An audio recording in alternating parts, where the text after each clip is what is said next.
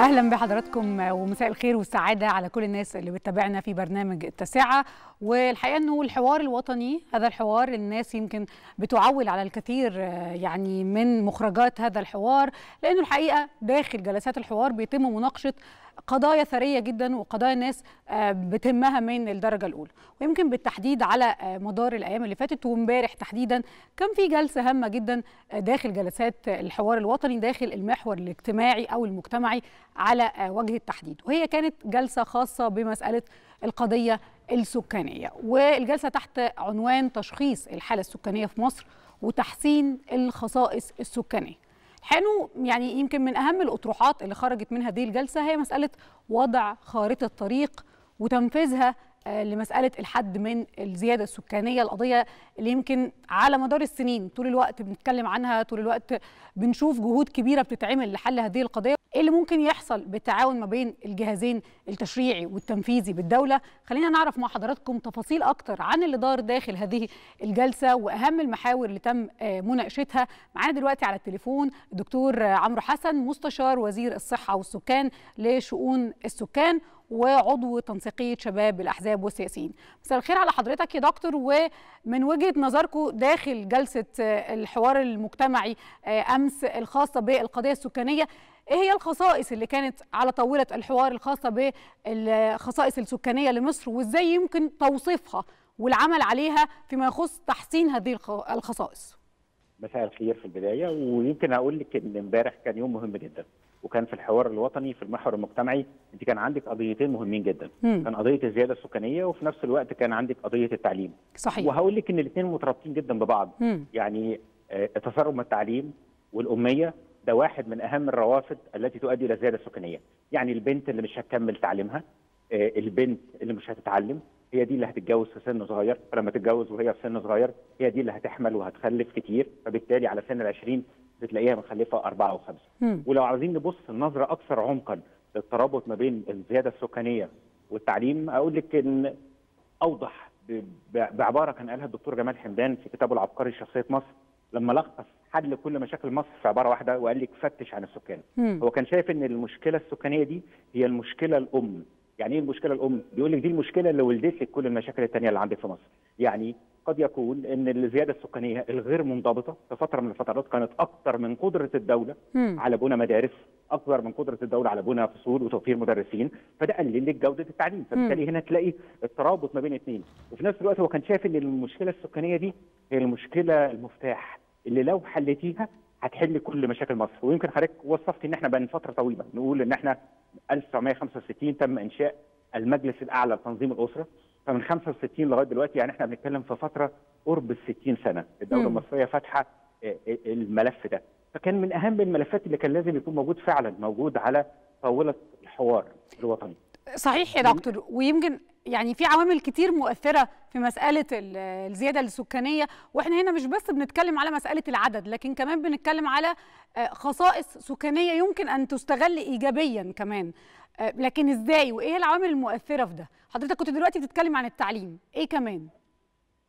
خلينا نقول إن الخصائص كتير ودايما إحنا بنقول المشكلة هي مش فكرة العدد هو اللي أصعب من العدد هي الخصائص السكانية. شكل المواطن ده إيه؟ مم. صحة تعليم المهارات الحياتية. وده بيأثر يعني كله بيأثر على بعضه. وخليني أقول لك إيه هو السكان واحد من عناصر القوة الشاملة للدولة. صحيح. يعني إنك عندك سكان دي ميزة بس المبدأ ده مش مطلق. هو مشروط إن الزيادة السكانية ما تتجاوزش قدرة الدولة على توفير الخدمات بطريقة مناسبة. ما تأثرش على نصيب الفرد من الموارد الطبيعية بينما اللي إحنا بنتكلم عليه في مصر هي زيادة سكانية غير منضبطة. يعني وإحنا بنعرفنا إزاي؟ يعني أقول لحضرتك إن إحنا في آخر سنة تم ولادة 2 مليون 183 ألف مولود. م. يعني دي عدد في بعض الدول اللي جنبينا. ده نفس عدد السكان يعني أقدر أقول لك إن إحنا كل سنة بنولد دولة جديدة بس بدون الموارد جديدة. يعني أنت عندك كل يوم بيتولد 5982 مولود. دكتور حتة المقارنات ما بين الدول دي علشان هتلاقي ناس بتسمعنا تقول لك طب ما الصين عدد سكانهم كبير جدا جدا وبيتم استغلالها بشكل إيجابي. إحنا عايزين نتكلم عن الخصائص السكانية الخاصة بينا إحنا وإنه بالتأكيد مسألة السكان ليها ضوابطها وعواملها المؤثرة اللي بتختلف من كل دولة لدولة. هي كمان هي الفكرة بقى مش في فكرة عدد السكان هي في حاجة اسمها معدل النمو السكاني. انت عدد سكانك بيزيد بقد إيه؟ وحضرتك ضربتي مثل بالصين. أنا أقدر أقول لحضرتك ان معدل النمو السكاني في مصر حاليا أربع أكثر من أربع أضعاف دولة زي الصين. يعني متخيلة دولة زي الصين اللي انت بتتكلمي وتقولي ده عدد سكانهم كبير. مم. هي الفكرة مش في عدد السكان هي الفكرة انت عدد سكانك بيزيد بنسبة قد إيه؟ ليه؟ صحيح. لأن كل ما عدد جديد بيزيد ما هو الطفل الجديد ده محتاج تطعيمات محتاج مكان في مدرسة بعد كده محتاج مكان في جامعة بعد كده فرصة عمل بعد كده مكان يسكن فيه فأنا أقول لك إن معدل النمو السكاني في مصر أكتر من أربع أضعاف دولة الصين.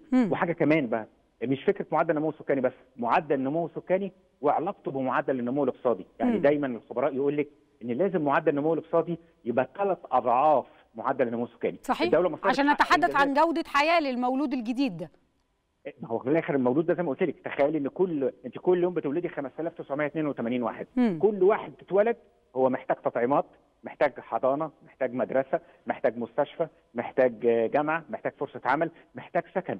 متخيلة التكلفة دي بالمليارات بتحسب قد إيه؟ صحيح. يعني أو أقولها لك بطريقة أسهل.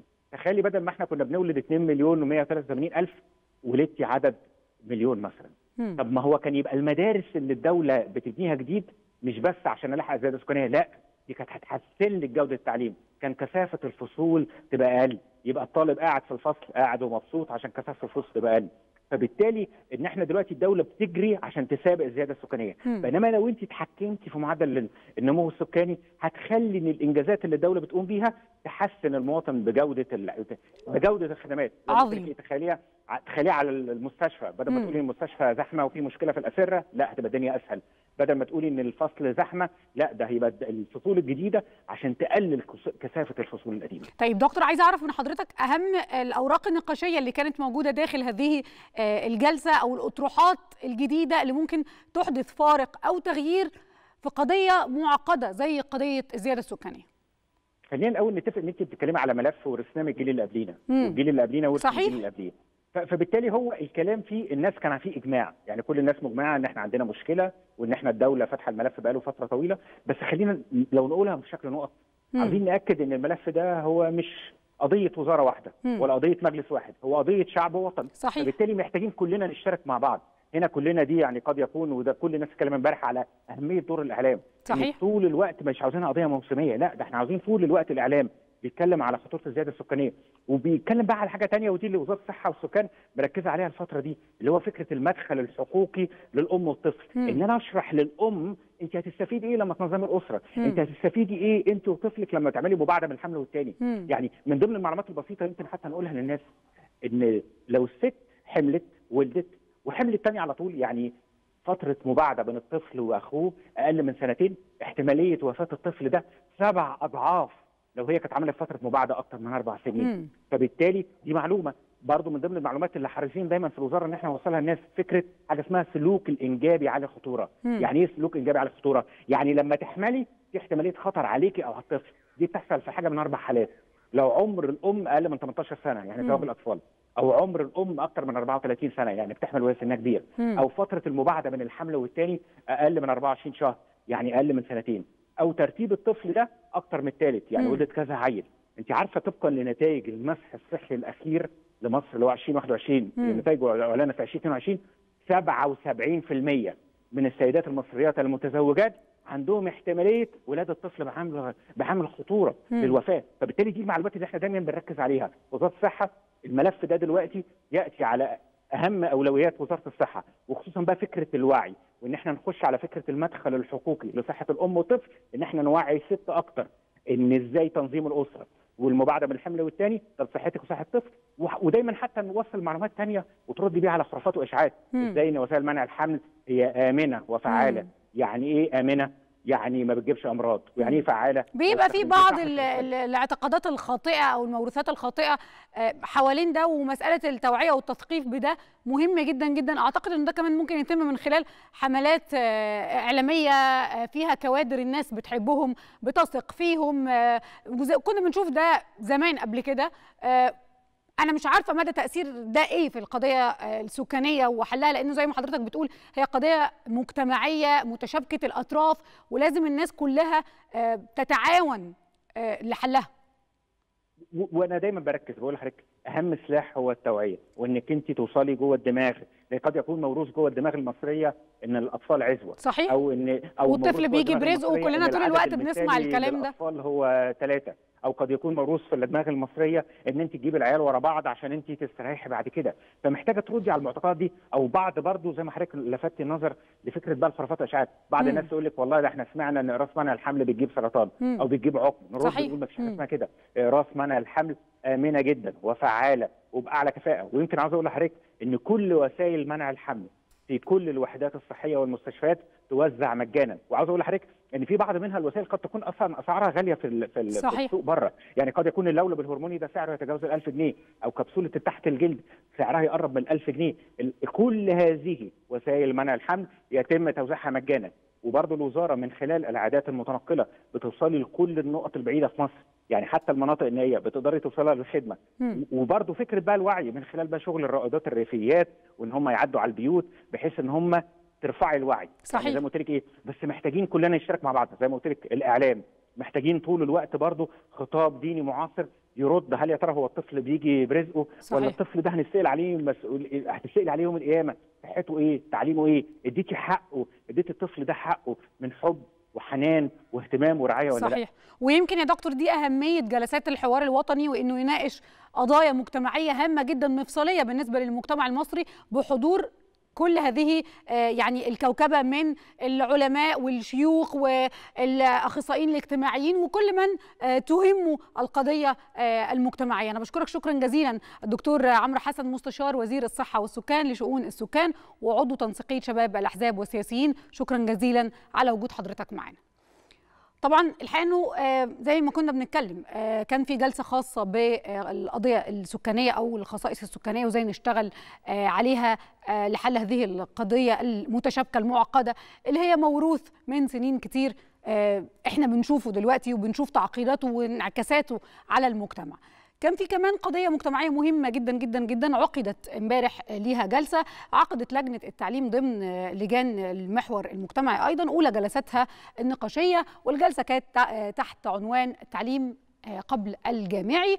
وإيه هي الأولوية القصوى في مسألة تطوير العملية التعليمية؟ كان في مقترحات عديدة كانت موجودة داخل الجلسة حوالين مسألة مستقبل التعليم في مصر إزاي ممكن نطور من هذه المنظومة التعليمية. وكان هناك مقترحات الحقيقة ومن بين هذه المقترحات هو مسألة عقد مؤتمر قومي للتعليم بمشاركة جميع المختصين وجميع الأطراف المختصين بالعملية التعليمية. حانه يعني الكثير من النقاشات الهامة والثرية اللي دارت داخل هذه الجلسة نروح مع حضراتكم للكاتب الصحفي جمال الكشكي رئيس تحرير الأهرام العربي وعضو مجلس أمناء الحوار الوطني يقول لنا أكتر إيه اللي حصل في الجلسة الخاصة بالتعليم قبل الجامعي. مساء الخير على حضرتك يا أستاذ جمال. وحانه قضية التعليم قضية مفصلية وهي يعني مفتاح لحل الكثير من المشاكل أو أغلب المشاكل في المجتمع المصري.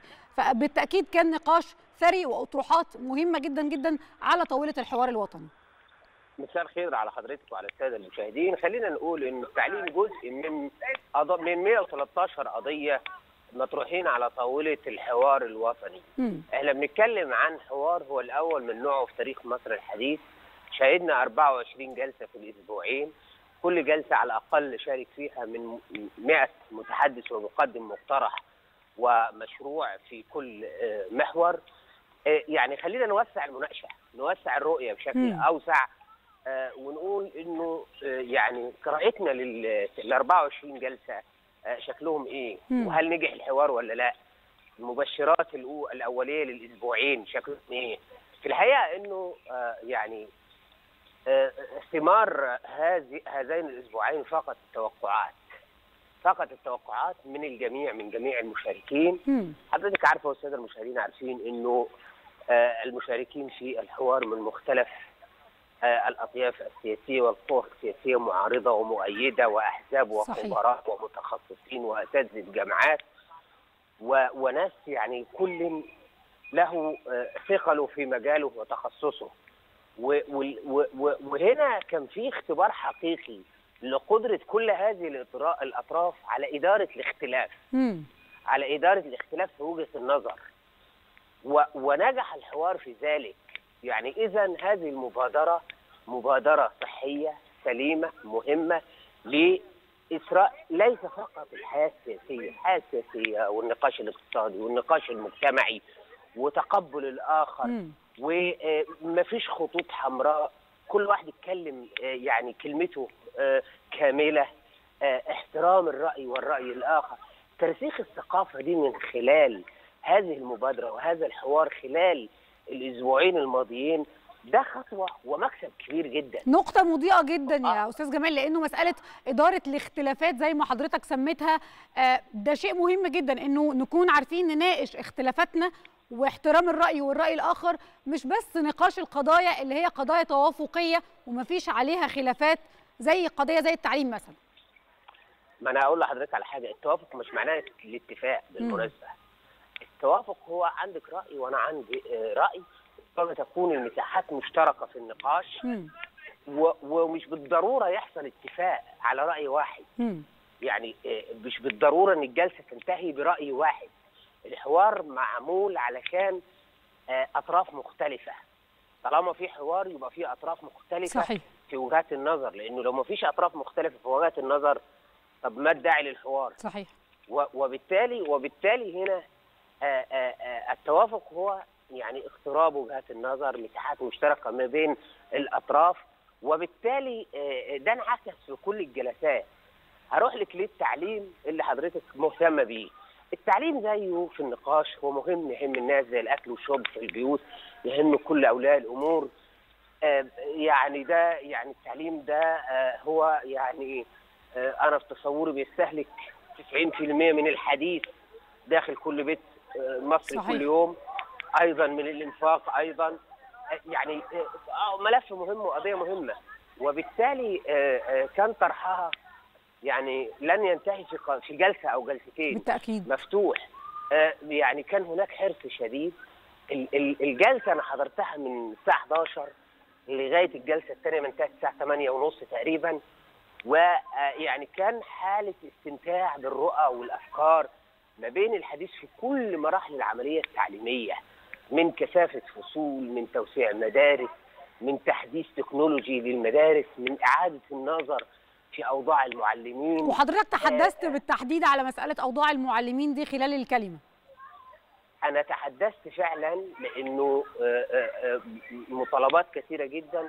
بالنظر إلى أوضاع المعلمين المالية مم. وأوضاع المعلمين وتقديس المعلم و و وإلى آخره. وأنا في الحقيقة قلت ده على عيني وعلى رأسي.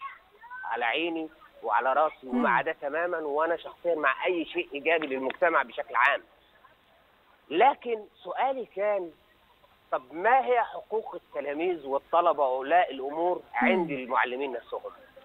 ما الضمانات التي تحمي حقوق أولياء الأمور. والطلبة والتلاميذ لدى المعلمين لأنه وشرحت فكرة إن المعلم في بعض المدارس المعلم ما بيشرحش.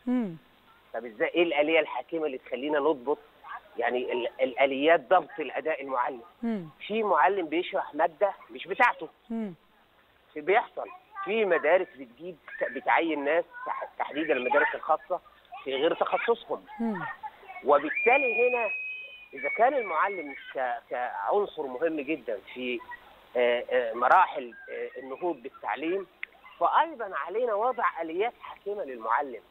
لأنه طب المعلم لو يعني يعني هو فعلا يستحق إنه يعاد النظر في اموره الماليه وأمور لكن أيضا لابد من إعادة قواعد وآليات تضمن انضباط المعلم في العملية التعليمية. علشان آه، نقف عند فكرة أو نحد الدروس مم. الخصوصية لأن المدرس ما بيشرحش بس مشغول بالدروس الخصوصية مم. إنه المنهج ما بيتشرحش كويس لأنه هو مستعجل و و و وممكن ما يكونش متخصص فيه آه، لأنه هو هنا جودة الشرح آه، مش يعني الحاجة ما بتاخدش حقها. المنهج وبالتالي ده تأثير آه، يعني كان ده ده جزء من الكلمة اللي أنا قلتها.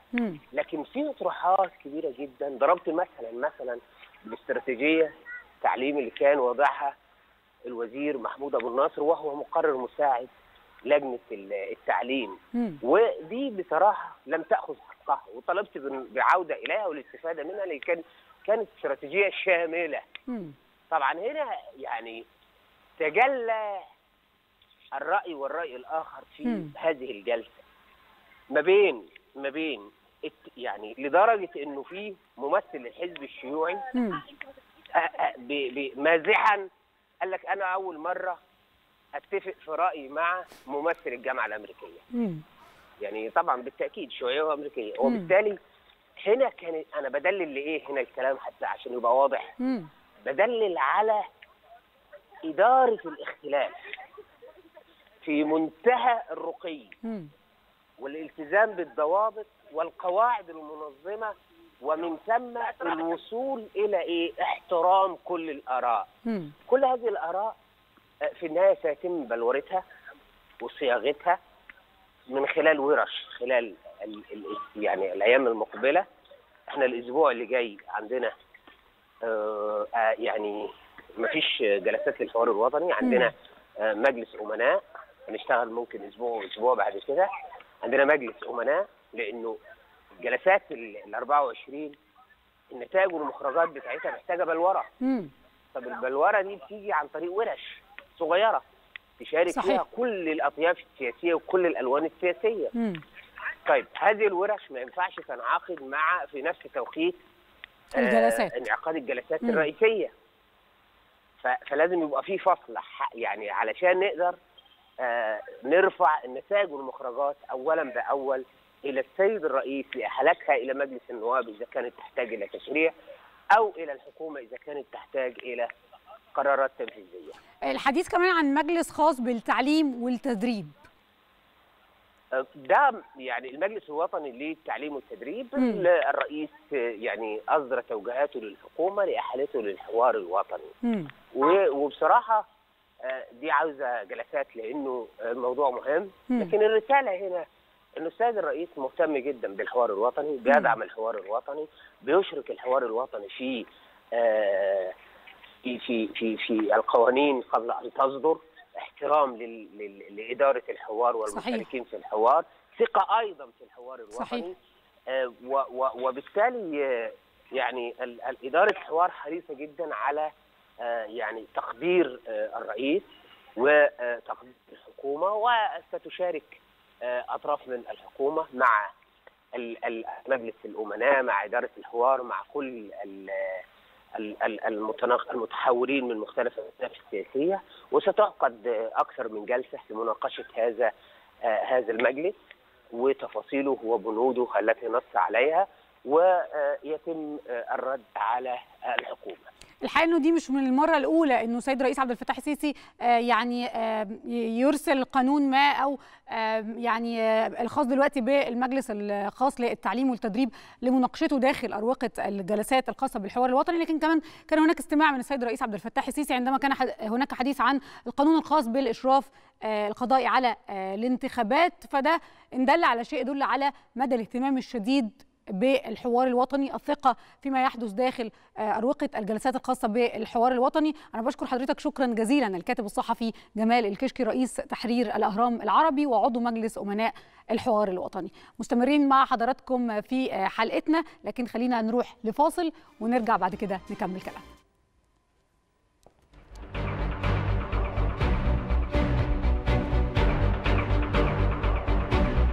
طرحنا في برضو في نفس الصدد إن آه، إزاي ريادة الأعمال تكون على مائدة التعليم الفني ويكون في مكون ريادة الأعمال في مختلف المدارس. أنا دلوقتي لو أنا بعرف أعمل مهارة معينة أو صنعة أو حرفة إزاي أطور الحرفة دي وأخليها تبقى مصدر دخل ليا ويبقى هو ده خلاص لو أنا ما فيش في عيب إن أنا أكلف حد أو في آه، نقص في الوظائف خلاص ريادة الأعمال تقدر تغطي النقطة دي وتقدر تعلم الطلبة إزاي من اللي بيدرسوه يقدروا يطلعوا مشاريع وتبقى مشاريع مبتكرة ومهمة. حسب متابعتي للنقاشات واحد هناك طلب متكرر أو هناك آه، تبصر لضرورة استقلال المجالس القومية وتحديدا المجلس القومي للسكان والمجلس القومي للأمومة والطفولة وإتباعها لرئاسة الجمهورية على غرار القومي للمرأة وعلى غرار القومي لحقوق الإنسان حتى تتمكن هذه المجالس من العمل على ملفاتها. وإن هي تتحرر ويبقى عندها استبصار لاستراتيجياتها وتقدر تلاقي حد كمان تتابعه وتقيمه. لازم لازم نراجع وضع التعليم وضع الصحة الخدمات اللي بتقدم للشباب تمكين الشباب من ناحية رياضة من ناحية فرص عمل من ناحية تأهيل. الشباب ذوي الإعاقة وذوي الهمم. الثقافة العامة والمنتجات الثقافية التماسك الأسري القضية السكانية كل الحاجات دي هي اللي بتشكل مصر الحاضر والمستقبل وأعتقد أن التعاطي معاها بشكل منفتح وجريء من من أكثر متطلبات الفترة الحالية.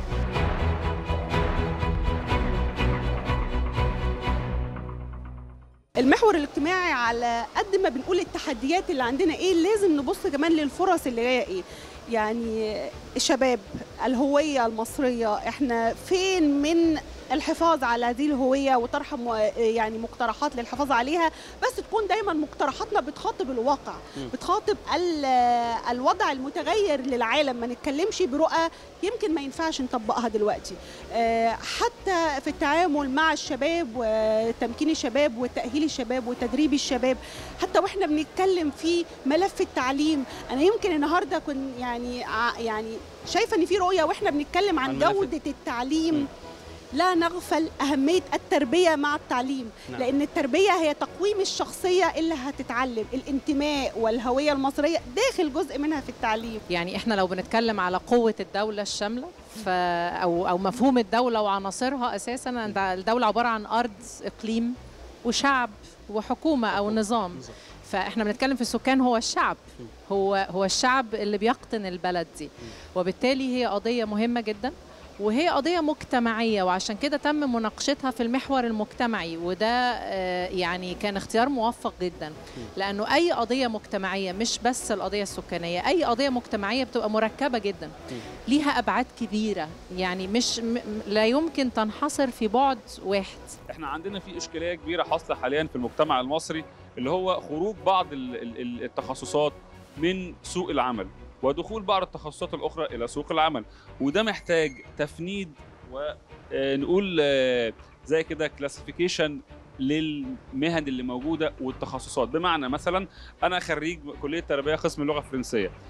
كل كل سنة كلية التربية بتطلع في اللغة الفرنسية مثلا 10000 خريج. هل سوق العمل يستوعب هذا الكم؟ لا. ولكن أنا محتاج أفتح مثلا لغة صينية لغة ألمانية لغات تانية موجودة يكون من شأنها مربوطة بسوق العمل.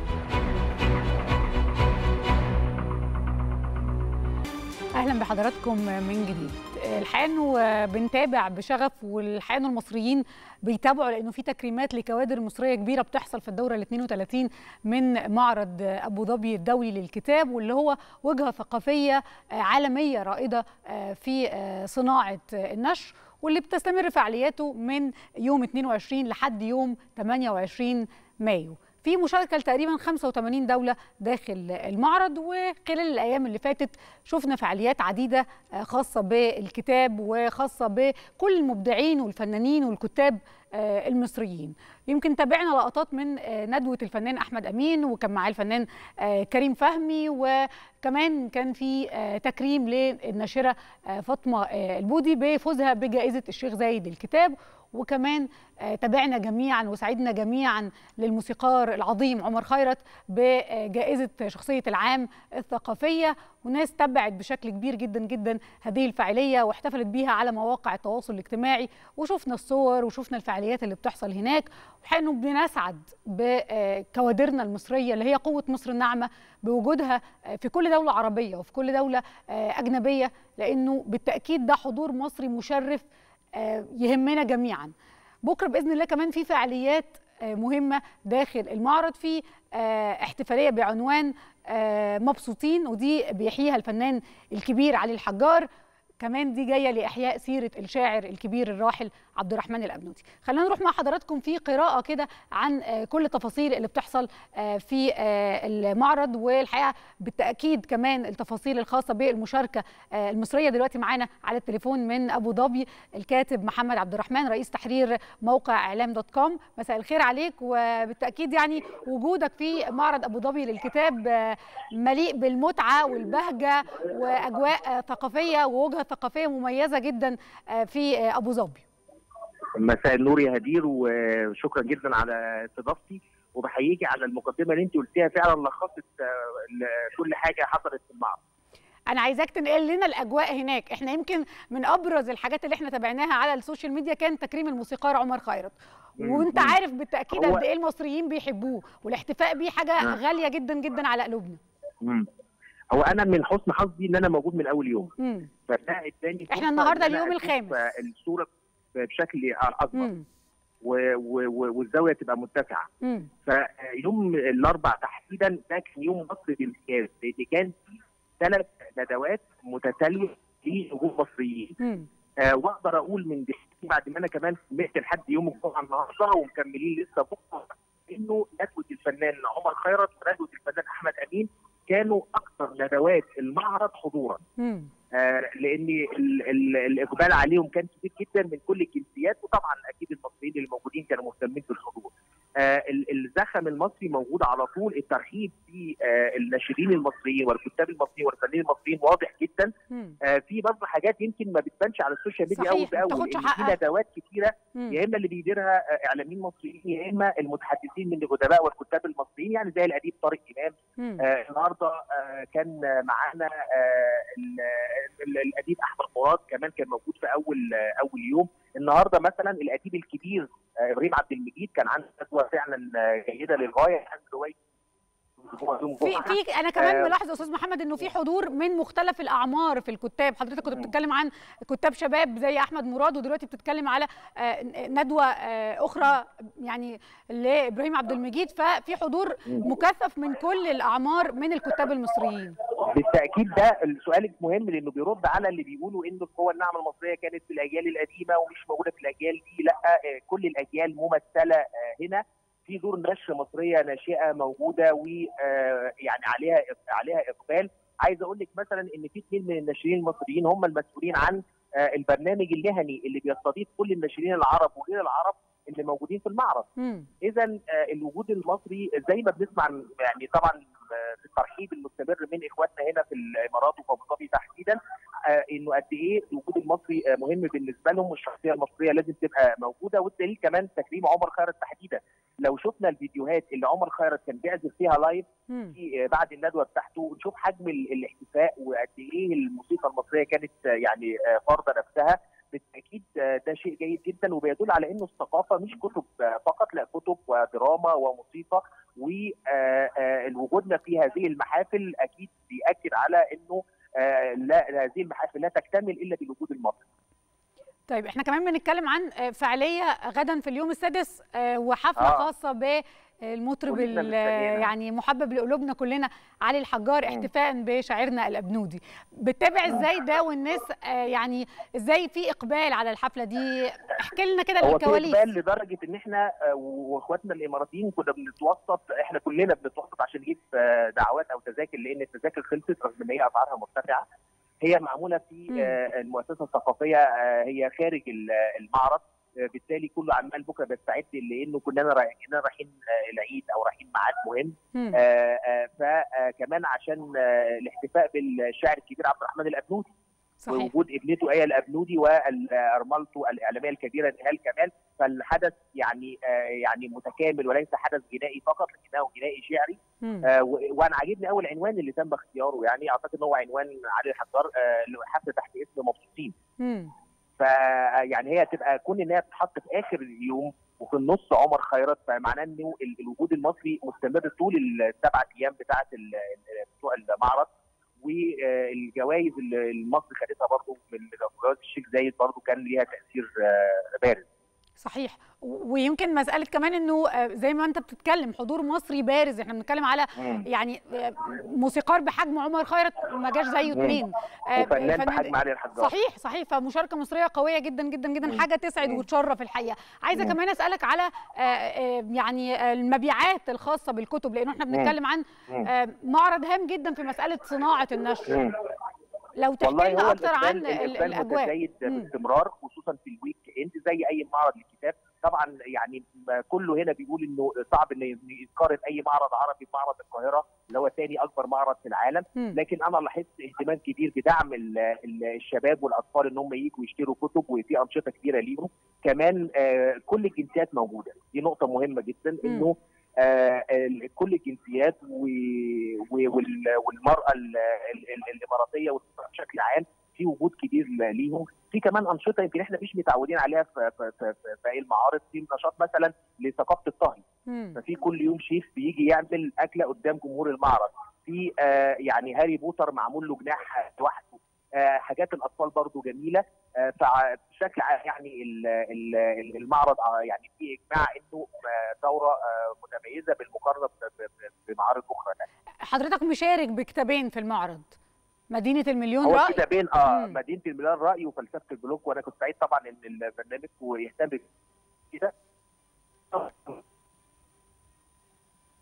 باعتباري إعلامي مصري وصحفي مصري.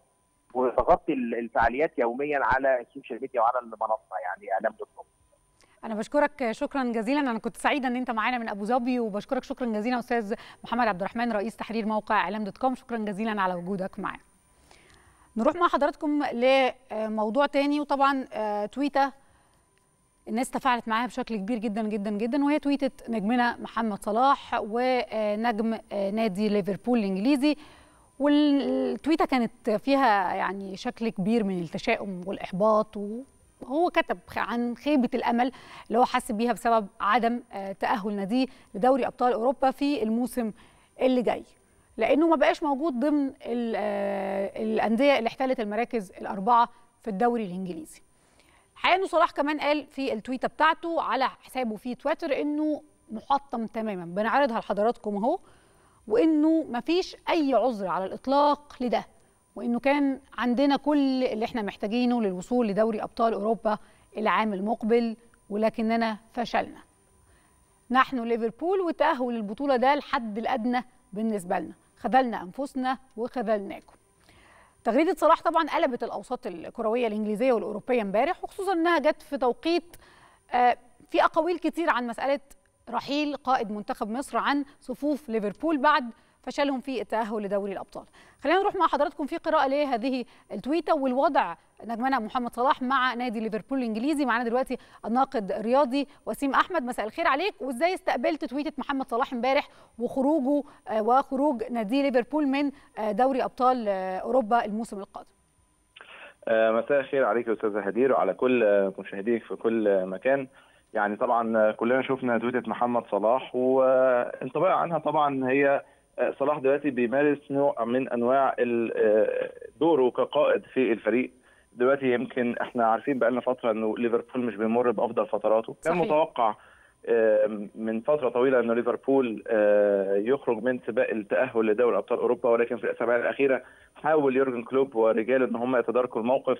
ويعودوا مرة ثانية لكن زي ما بقول في الآخر فشلوا مم. ومحمد صلاح زي ما بقول إن هو بيحاول إن هو طبعا يمارس دوره كواحد من قائدي الفريق لأنه طبعا دلوقتي يعني يعتبر واحد من أقدم دلوقتي أعمدة ليفربول صحيح. هو محمد صلاح بعد طبعا رحيل ساديو ماني وفيرمينو. النجوم. كان في قبل كده طبعا ساديو ماني دلوقتي خلاص أعلن ليفربول عن رحيل كمان أربعة من نجومه آه، زي فيرمينو زي آه، نبي كايتا آه، زي جيمس ميلنر فبالتالي طبعا دلوقتي يعتبر صلاح واحد من الكباتن في الفريق وبيعبر طبعا وبيعتذر للجمهور بصفته واحد من قائد الفريق ومن أكثر اللعيبة اللي بتحط عليهم الجماهير أمال كبيرة جدا في قيادة الفريق نحو الوصول لل Champions League.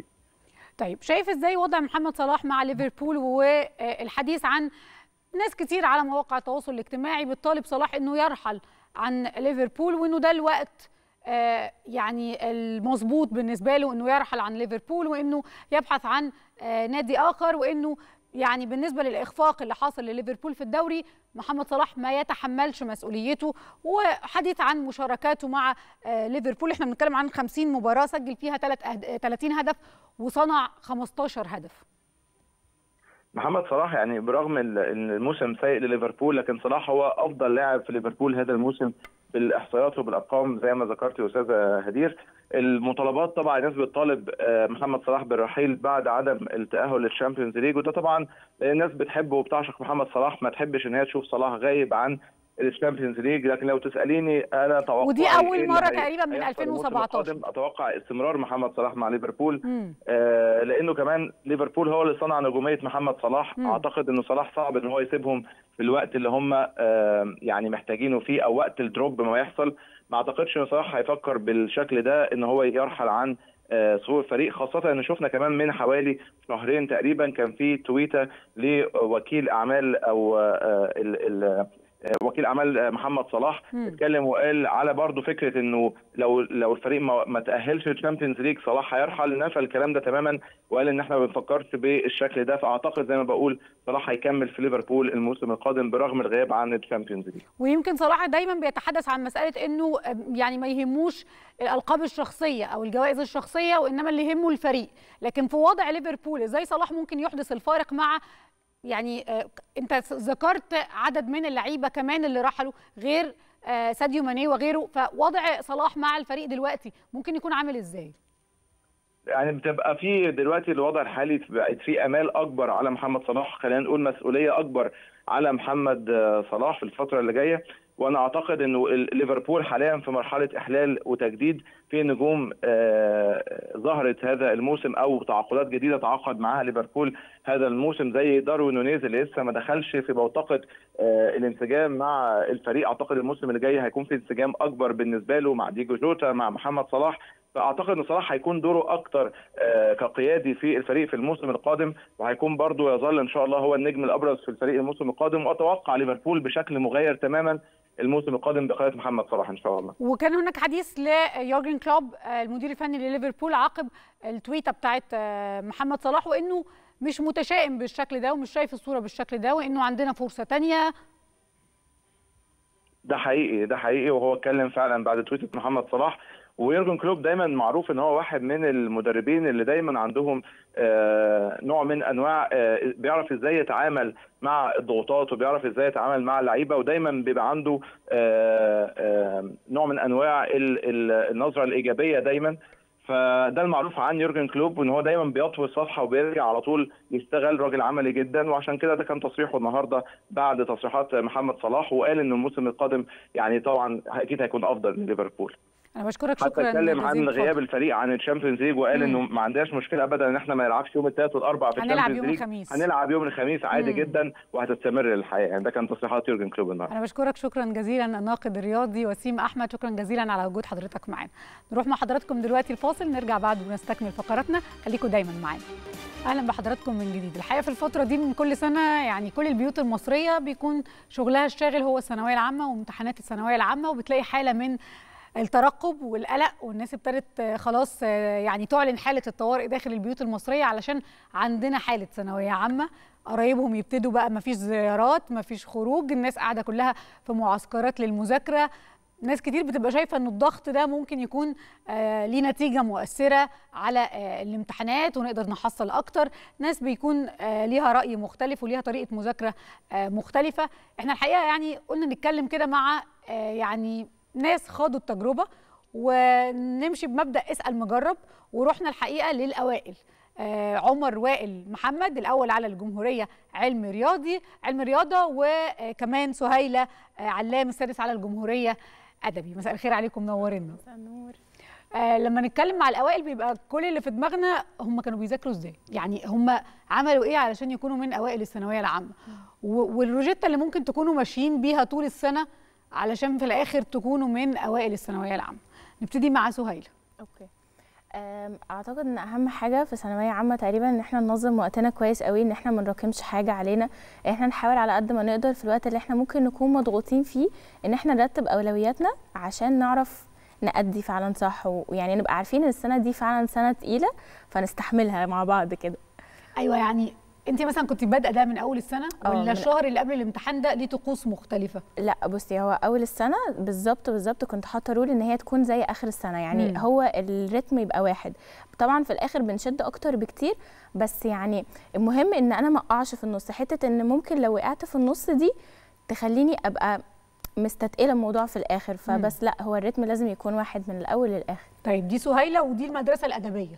خلينا أروح لك بقى يا باشمهندس وتكلمني كده إزاي كنت بتعدي مرحلة الامتحانات دي وخصوصا الشهر اللي قبل الامتحانات وأنا أعتقد إنه ده بيبقى يعني أهم شهر في السنة كلها. هو فعلا أهم شهر لأن يعني في الآخر أنت بقى بتاخد اللي أنت قاعد بتبنيه طول السنة. فكنت مركز يعني على أكتر حاجة إن أنا ما أوترش نفسي. عشان ما اضيعش مجهودي وتعبي بال- بالتوتر ده لأن في ناس بتيجي في آخر شهر تتوتر أو جوه الامتحان يتوتر ينسى كل اللي هو ذاكره ويخش ينسى كل حاجة. فلازم يبقى هادي ويثق في ربنا إن هو مش هيضيع تعبه اللي تعبه طول السنة. وما يخليش يعني يكون بيفكر إن الامتحانات دي هي آخر الدنيا. يعني أنا كنتش بفكر في كده.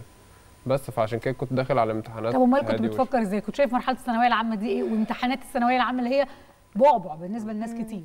كنت شايفها آه، إيه؟ كنت شايفها يعني مش هقول يعني سنة زي سنة لأن هي فعلا مهمة بس كنت شايفها عادي يعني أنا عملت اللي عليا وأنا مذاكر وعارف مذاكرتي عاملة إزاي وعارف أنا أدائي فين في الامتحانات اللي حليتها قبل كده فكنت داخل مطمن شوية. والبيت كان بيتعامل إزاي مع حالة الطمأنينة اللي عندك دي؟ هو الصراحة محدش فيهم في البيت خالص كان بيضغط عليا في حاجة كان كلهم يعني relax محدش كان اللي هو متوتر قوي عشان أنا برضو كنت إيه هم شايفيني بذاكر وكده فما فيش حد اللي هو كان بيقعد يقول لي ذاكر ذاكر ذاكر. ف... فأنا كنت يعني مسبق. كانوا سايبينك معتمد على نفسك آه. عندهم ثقة فيك. طب سهيله البيت كان بيتعامل إزاي مع شهر الامتحانات ودخله الامتحانات دي؟ آه لا الصراحة مامتي وبابايا كانوا دايما دايما بي support اللي أنا بعمله. يعني هما بجد وقفوا جنبي قوي ما حدش فيهم كان بيضغط عليا بأي طريقة. هو إيه الدعم صحيح؟ إيه طريقة الدعم؟ عشان الأهالي لما يسمعوا أدعمه طيب ما أنا بأكله وباخد بالي منه. عامة إيه طريقة أكله- الدعم اللي أنتوا بتبقوا محتاجينها دي حاجة مهمة جدا. أكله دي حاجة مهمة جدا جدا بجد. يعني أنا كنت بقعد ويخش لي على المكتب أحلى اكل ودي آه، كانت أحلى سنه في حياتي. أيوه. أنا شخصيا أحلى أكل كلته كان في الثانوية العامة. بالظبط كانت أحلى أكل. فلا يعني الدعم اللي هو لو أنا كنت مثلا بجيب درجة وحشة كنت أروح ألاقي اللي هو أقعد أعيط لماما تقول لي خلاص تمام انت عملتي اللي عليكي. شوفي إيه اللي ناقص شوفي بنظبط الدنيا مع بعض. ما كانتش بصراحة بتحسسني بأي ستريس في أي حاجة.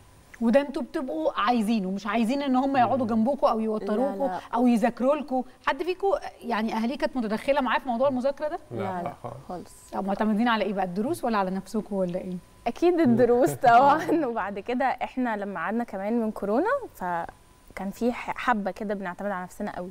طيب هنتكلم في موضوع الدروس وكنتوا بتاخدوا دروس ولا لأ لكن خلينا نروح لفاصل ونرجع نكمل كلامنا عن الثانوية العامة وإزاي نعدي الشهر اللي فاضل على الامتحانات.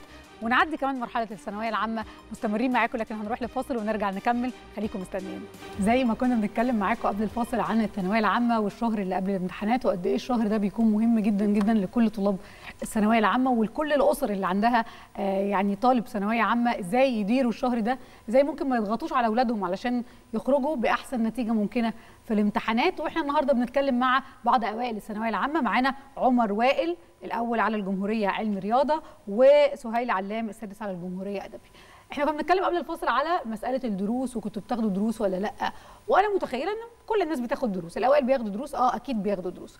سهيل أنت كنت بتقولي آه بناخد دروس. لكن بتاخدوا دروس قد إيه؟ وبتذاكروا عدد ساعات قد إيه؟ وأنا عارفة إن السؤال ده يبدو شوية آه، آه، اللي بيذاكر كتير مش هيبقى عارف هو بيذاكر عدد ساعات قد إيه. لكن آه، إحنا هنا بنكلم اللي بيذاكر نص ساعة وساعه يعني عايزين نقول له الموضوع إزاي يترتب okay بصي هو بالنسبة للدروس هو طبعا كلنا كنا بناخد دروس. الدروس هي مثلا ممكن تديكي بنسبة 80% أو 70% من ال- الفهم للدرس أو ايا كان الحاجة اللي بناخدها. بعد كده بنروح طبعا الباقي بي- بيكون عليا أنا في البيت. بعد كده حتة إن أنا بذاكر قد إيه بذاكر على قد ما ال effort بتاعي في الآخر يجيبني. يعني هو. مش بنقعد نحسب بعدد عدد الساعات بالظبط بس مثلا أكون حاطة جدول أنا الصبح النهارده ورايا كذا خلصته في ساعة خلصته في ثلاثة خلصته في خمسة المهم إن هو يخلص. بتعرفي تذاكري كذا مادة في اليوم ولا انت بتذاكري مواد معينة؟ لا أنا كسهيله مش بعرف أذاكر كذا مادة في اليوم بصراحة. لازم هي مادة أركز فيها اديها تركيزي كله أخلصها خلاص تمام. ممكن حتى أذاكر منها كتير بس هي مادة واحدة. طيب إحنا دلوقتي معانا على التليفون أستاذة رباب علي عبد الحليم والدة سهيلة مساء الخير عليكي. وطبعا يعني آم من أمهات الأوائل ده شرف كبير وأكيد ليكي دور كبير جدا في حياة سهيلة. وهي لسه كانت بتتكلم على مسألة الأكل وإزاي بتاكل في الامتحانات والدعم اللي الطلبة بيبقوا محتاجينه في الشهر ده. فرسالتك إيه لأولياء الأمور اللي عندهم ثانوية عامة السنة دي وداخلين على ثانوية عامة خلال الشهر ده؟ إيه نوع الدعم اللي ممكن يقدموه للولاد علشان يعدي الشهر ده على خير اولا مساء الخير أهلا بك. ثانيا آه، يعني أنا بتمنى لكل طلبة الثانوية العامة السنة دي إن شاء الله ربنا يكرمهم ويوفقهم آه، يعني ونفرح بيهم كلهم كده بمجاميع كبيرة ترضيهم وترضي آه، أهاليهم بإذن الله. الروجيتا اللي أنا أقدر أقدمها إن الثانوية العامة سنة زي أي سنة إحنا اتفقنا أنا وسهيل عملنا deal كده اول السنة انها سنة عادية جدا مش هيبقى فيها stress مش هيبقى فيها ضغط. هنعمل آه، المجهود المطلوب. والتوفيق ده بتاع ربنا سبحانه وتعالى. إحنا أصلا داخلين ثانويه عامه إحنا مش متوقعين ان إحنا هنبقى من الأوائل. بس مم. يعني إحنا تعبنا فربنا كرمنا ان إحنا بقينا من أوائل الثانوية العامة. آه، اهم حاجة آه، يعني خدوا الموضوع ببساطة جدا لأنه في الآخر هو ترتيبات ربنا. يعني يعني في الآخر انت هتبذل مجهود هتلاقي نتيجة. آه، فضلت تضغط على اولادك آه، مش هت... في الآخر أنت هتوصلهم لمرحلة إن هم مش مش هيوصلوا لحاجة خالص. يعني الموضوع لازم يتاخد بصورة هادية كده يعني. يعني حضرتك كنت بتتحلي بالقدر اللي أنا شايفاه وسامعاه ده من الهدوء أثناء الامتحانات يعني إزاي كنت بتقابلي سهيلة وهي عندها امتحان بكرة؟ هل مثلا كانت بتسهر ساعات كتير مثلا؟ آه لا آه بتنام بشكل منتظم والدنيا ماشية بشكل هادي مفيش حالة الطوارئ اللي بتكون موجودة جوه بيوت كتير؟ خالص حقيقي ده ما كانش عندنا الناس بيبقى. عندها حالة عن. التوتر اللي الناس كتير بتعملها هي ما كانتش عندنا. آه، حتى أيام الامتحانات إحنا كنا بنحاول نكون أهدى. يعني أنا أنا فاكرة كان عندنا امتحان صعب جدا. هي رجعت من الامتحان تقريبا شبه منهارة يعني. فخدناها وخرجنا واتفسحنا ورحنا وجينا. قلت لها انسي اللي فات وخلينا نفكر في اللي جاي. دي طريقة مهمة جدا إن أنت يعني حاول تهدي آه، آه، هو هو هو أساسا ستريس يعني. فأنا كمان. هضغط عليها فده ما كانش بيحصل خالص نهائي اطلاقا يعني. أهم حاجة أنت تسيبه آه، آه، براحته يواجه ال- اللي هو فيه وهو هيطلع منه لحاجة أفضل يعني. أنا شايفة شايفة إن دي أفضل حاجة يعني. أنا بشكرك شكرا جزيلا أستاذة رباب علي ويعني ربنا يبارك لك في سهيلة إن شاء الله وتشوفيها أحسن الناس. خليني أرجع لعمر وإدارة الشهر اللي قبل الامتحان ده موضوع مهم ويمكن في ناس كتير آه وأنا هنا تحديدا بتكلم على الولاد أكتر من البنات. طول السنة شكل مذاكرتهم مش شبه ال- الشهر الأخير. بيقدروا إنهم يجمعوا بشكل كبير حتى لو كانت فايتهم فايتهم حاجات يلحقوا إنهم يجمعوها في الشهر الأخير. أنت كنت بتعمل إيه؟ هو أنا يعني أنا كنت مخلص المناهج كلها قبل ال- الشهر الامتحانات ف... فمثلا اللي هو ليالي الامتحانات أنا كنت براجع مراجعة سريعة على المنهج كله وبستريس على الحاجات اللي كانت مثلا واقعة مني أو كنت بحلها غلط عشان إحنا الحل عندنا كتير يعني بس وفي نفس الوقت كنت بسيب وقت إن أنا برضو أفصل عن المذاكرة يعني. مثلا بكرة الامتحان فمثلا أنا بوقف مثلا مذاكرة الساعة 6 بالليل. لحد بقى ما انام مثلا whatever 12 10 وتعمل إيه بقى من الساعة 6 اعمل أي حاجة لأنه تانية ده قرار أنا- يعني عايز حد قلبه جامد لأنه طول الوقت إحنا ممكن تبقى مذاكر ومراجع وكل حاجة لكن وشك في الكتاب لحد اللجنة. ما هو خلاص أصل يعني مش طول السنة اللي أنت بتعمله في آخر الثلاث أربع ساعات اللي هتفصل فيها دي وتريح دماغك هي اللي هتفرق معاك قوي فادي يعني خلي الراحة أولوية زي ما المذاكرة يعني كنت ممكن تشوف صحابك تفتح ال social آه. ميديا تعمل كده ليلة الامتحان. آه ممكن. أنا كده كده يعني الموبايل كان معايا أصلا طول السنة عمري ما سبته. ففي آخر 3 4 ساعات من اليوم أنا بقى بعمل أي حاجة غير إن أنا بذاكر. وحتى وأنا رايح اللجنة الصبح في ناس بقى بتفضل ماسكة الكتاب وتراجع ولحد على باب اللجنة ويشدوه لا أنا بصحى الصبح ما امسكش كتاب ما براجعش. لو حد هيسألني على حاجة أبقى بقعد أشرحها له وأجاوبه لكن بتذاكر لأصحابك أو آه. بتذاكر مع أصحابك؟ مش بذاكر مع أصحابي بس بذاكر لهم. يعني لو حد بيسألني على حاجة أنا بقعد أجاوبه وأشرح له كده وده دي يعني طريقة مذاكرة كويسة. ان أنت ما تشرح الحاجة هتعرف أنت فاهم إيه ومش فاهم إيه مم. ولو أنت فاهم هتزود لك الفهم أكتر. بيفيدك يعني. آه فأنا كنت بشرح لكتير من صحابي يعني كانوا بيبعتوا لي مثلا أسئلة وأنا الصبح اقعد أجاوبها لهم. يا بخت أصحابك. طيب إحنا هنروح لفاصل أخير ونرجع نكمل كلامنا مع عمر وسهيله خليكم مستنيين. لسه مكملين مع حضراتكم وكلامنا عن الثانوية العامة والشهر قبل الامتحانات يمكن أقل من شهر خلاص على امتحانات الثانوية العامة وحالة الطوارئ اللي موجودة جوه كل بيت مصري بسبب الثانوية العامة إزاي نعدي المرحلة دي. ونتكلم النهارده مع الأوائل فيعني هم أكتر ناس يقدروا يقولوا لنا كانوا بيعملوا إيه قبل الامتحانات. وفي بين نقطة مهمة كمان عايز أسألكم عليها النوم. لأنه آه في ناس كتير قبل الامتحانات وخصوصا ليالي الامتحانات ما بيجيلهاش نوم وممكن يكونوا شطار جدا لكن من كتر التوتر إنه خلاص داخل على الامتحانات وقد إيه الثانوية العامة دي يعني آه حد فاصل للي جاي أنتوا كنتوا بتعملوا إيه؟ اتفضلي. آه، بالنسبة لي أنا لأ كان لازم انام يعني مم. مش مهم عدد ساعات النوم بس مهم إن أنا لازم أنام. بس مش أقل من ست ساعات كده كده. لأن ده بيخليني أنا أعرف أركز أعرف ادي أعرف أعمل أجمع حاجة. المعلومة كمان. بالظبط طبعا. فأنا لو ما نمتش ما أنا هبقى تعبانة فمش هذاكر فمش هعمل حاجة. فلا مم. أنا لازم أنام زي ما بالظبط ما بذاكر. يعني حاجة مهمة. طب عمر كنت بتعمل نفس الكلام. بس هو مثلا قبل امتحان العربي اللي هو أول امتحان بقى كنت متوتر قوي فما كنتش مش عارف انام كويس مم. بعد أول امتحان هو أنا أصلا في العادي بتاعي إن أنا بنام بنام حبة حلوين يعني تسع ساعات مينيمم مم. بس فكنت كده كده بنام يعني إن أنا على الأقل أبقى نايم تسع ساعات قبل الامتحان في ناس كتير قوي أنا أعرفها اللي هو النوم ده يعني بيفضل يذاكر لحد الساعة 6 الصبح ممكن يروح الامتحان مطبق. هو فاكر إن هو يعني ده مش هيأثر عليه عشان هو مثلا متعود بس هو فعلا بيأثر على الواحد وعلى تركيزه لازم يكون نايم كويس قبل ما يروح الامتحان طيب آه، مامتك كانت بتقول إنه إحنا ما كانش في مخططنا إن إحنا بن- نبقى من الأوائل. آه خالص. ودي حاجة الناس لما بتسمعها بتستغرب لأنه الناس متخيلة إنه حد يطلع من الأوائل ده أكيد دي خطته وده شكل آه يعني تربيته وتعليمه من وهو صغير إنه أكيد هيكون من الأوائل. لا هو خالص. أنا بس كان يعني قبل أي حاجة هو توفيق من ربنا طبعا. تنظيم للوقت من الأول زي ما قلت لك هو بجد تنظيم أهم حاجة. عدم مراكمة. آه، بذاكر بجد بجيب آخري في كل حاجة. ما كنتش بع... يعني ببص خالص لمين بيجيب إيه. حتة. أنا برضو أقارن نفسي دي ما كانتش بتحصل خالص. أنا بعمل اللي عليا وبعمل أقصى حاجة عندي. فأقصى حاجة عندي دي جابتني في الآخر إن أنا أجيب مجموع يعني مامتك ما كانتش بتقولك بنت خالتك دخلت لا، لا، الكليه لا، لا. الفلانية ده- آه ابن عمتك جاب لأنه ده ده يعني بيتقال جوه كل البيوت يعني ده غلط في. مقارنات طول الوقت ما بين ولاد العيلة وبنات العيلة ومين وصل لإيه لا بالعكس أنا يعني لو حد قارن بالعكس ده بيبقى أصلا إحباط يعني لو حد عمل لي كده مش ما كنت ما أعتقدش إن أنا كنت هأدي أساسا مم. فلا كان أنا باللي أنا بعمله باللي أنا وصلت له فده كان سهيلة. فده كان أحسن حاجة الصراحة طيب شايفين مرحلة الثانوية العامة زي بعد ما عديتوها.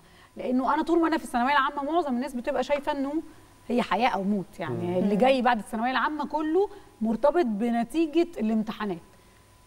بعد ما دخلتوا الجامعة شايفين ده إزاي؟ وشايفين إزاي آه نتيجتك في الثانوية العامة تؤثر على حياتك بعد الثانوية العامة؟ هي يعني هي كده كده هتؤثر بحبة بس هي مش هت- هتؤثر زي ما الناس فاكرة أو زي مم. ما الطلبة فاكرين. لأن في ناس كتير قوي مثلا بعد ما دخل مثلا هندسة وخلصها يلاقي نفسه مش حاببها وبيشتغل بحاجة تانية. مم. حاجة ملهاش أي علاقة بمجاله.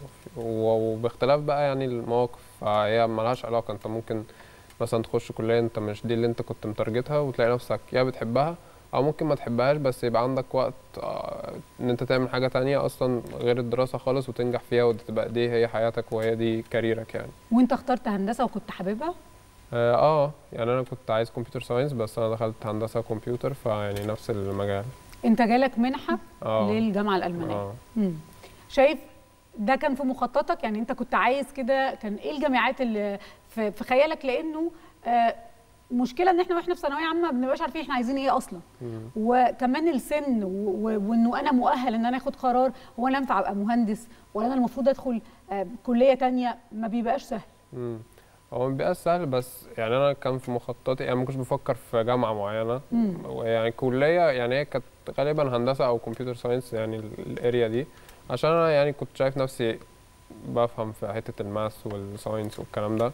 فخلاص يعني واضحة أنا المفروض أمشي إزاي مم. والحمد لله يعني بعد ما دخلت هندسة فالدنيا ماشية يعني الحمد شايف لله ان أنت أخدت القرار آه. الصح يعني وكان أهلك مشتركين معاك في القرار ده آه هم ما كانوش عايزيني أخش كمبيوتر ساينس كانوا عايزين نخش بقى هندسة هندسة مم. كل الأهالي المصريين آه. عايزين ولادهم أطباء ومهندسين مم. بغض النظر عن الاختيارات الاخرى يعني هندسة كمبيوتر قسمت البلد بالنص مم. بس طيب سهيلة أنت اخترتي الجامعة إزاي وكمان أنت واخدة منحة في الجامعة آه. الألمانية آه، استقبلتي الموضوع ده إزاي؟ احكي لنا كده كانت أجواء الاختيار الكلية إيه؟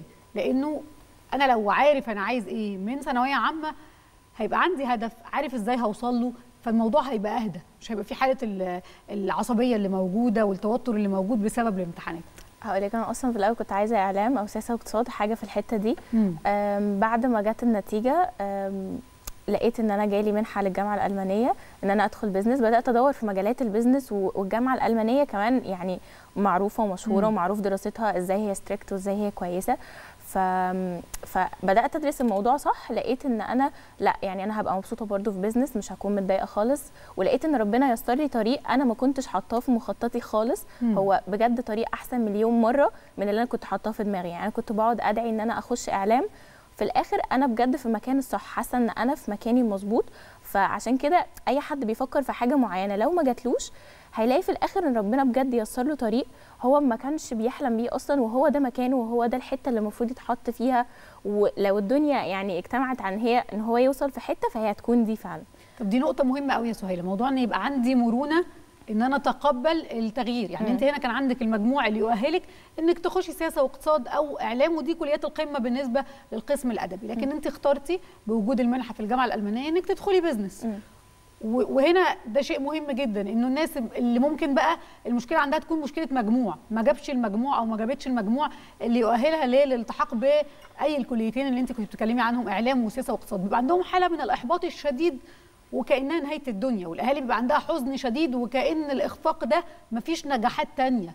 انت النهارده جاية بتقولي لهم إنه لأ لا في في اختيارات ممكن تكون مش في بالنا لكن تحسي بنجاح لما تدخلي الجامعة. حقيقة. هو طبعا لازم الأول هيكون زعلان على إن هو عاوز حاجة معينة ما بيوصلهاش دي طبيعة الإنسان ما فيهاش اختلاف. بس أنا دلوقتي لو فكرت فيها بعقلانية شوية هلاقي إن حتى لو أنا مجموعي اللي أنا كنت عايزاه ما جاليش ربنا حطني في حتة خلاص الحتة دي أنا أشوفها أنا أعمل أقصى ما عندي فيها أأدي فيها أسعى فيها هلاقي في الآخر إن فعلا ربنا مش هيحطني في حتة مش بتاعتي ومش مش هي اللي غلط لأ بالعكس هو هيحطني في الحتة الصح اللي أنا هعمل فيها مجهود وهوصل فيها لنتيجة. بس ده بيبان مع الوقت ده محتاج صبر محتاج إن أنا أتقبل فكرة إن أنا آه ده مش اللي أنا عاوزه بس ده اللي ربنا عاوزه. فهي هنا بتكون بس من جوه شوية. طيب أخيرا كده كل حد فيكم يقول للطلبه قبل الامتحانات كده الفترة اللي جاية دي رسالة إيه رسالتكم؟ من غير يعني ما نبقى بنديهم نصايح لأنه بالتأكيد كل واحد بيبقى شايف إنه اللي عدى التجربة دي خلاص مش حاسس بيه لكن أنتوا. لسه معديين التجربة التجربة دي fresh يعني. فتقدروا تقولوا لهم إيه قبل الامتحانات؟ ما توتروش يعني ربنا مش هيضيع تعبك اللي انت تعبت طول السنة.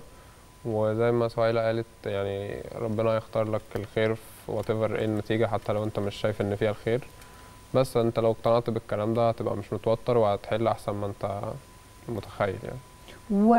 والحياة جوه الجامعة واختيارك للأقسام جوه الجامعة فرق معاك؟ وأعتقد إن أكيد دماغك نفسها فرقت بعد الثانوية العامة. بتفرق آه يعني بعد الثانوية العامة بتحس إن أنت يعني فتحت أكتر على ال... على الدنيا وعلى المجالات وعلى كده.